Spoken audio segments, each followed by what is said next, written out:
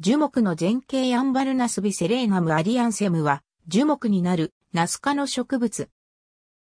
沖縄に自生があり、葉や若枝は毛が多くて、海緑色をしている。常緑性の小高木。樹高は2から4メートルになる。若枝と葉の表裏すべて、正常毛に覆われて、開白色をしている。葉は、卵形で、長さ8から22センチメートル、幅4.5から12センチメートルに達する。前縁で、先端は尖る。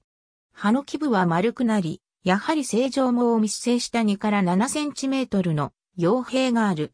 花はほぼ一年中見られる。枝先に三棒状の周産果樹をつける。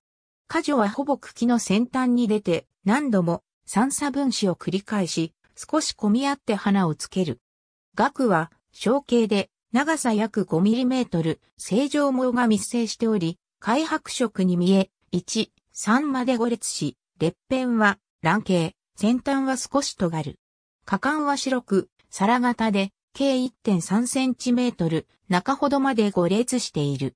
裂片は高卵形で、先端は尖っており、外面には正常毛が密生している。液化は球形で、計約1センチメートル、熟すと高褐色になる。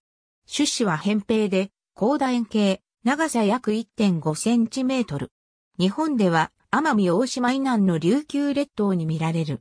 国外では台湾、中国、東南アジア、インド、オーストラリア、熱帯アメリカまで分布する。沖縄では石灰岩地域によく見られる。葉など全面に正常毛があって白っぽく見えるのが独特で混同しそうなものは他にない。ナス科の植物は草本が多く低木になるものもあるが高木になるものは少ない。その点、本種はさほど背が高くはならないものの、立派な樹木の形になるもので、日本在来のものでは唯一と言っていい。日本では特に何も言われていない。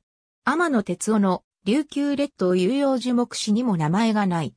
しかし、ナス科の植物には成分に特殊なものを含むものが多く、薬用や毒などに使われる例が多々ある。本種については、メキシコで伝統的に薬用とされたという。またその成分についての研究も行われてはいる。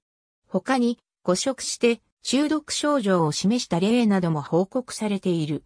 以下、記載は、主として、佐竹ほか、P217 初島、P538 佐竹ほか、P217 池原 P140、毎地へ通る。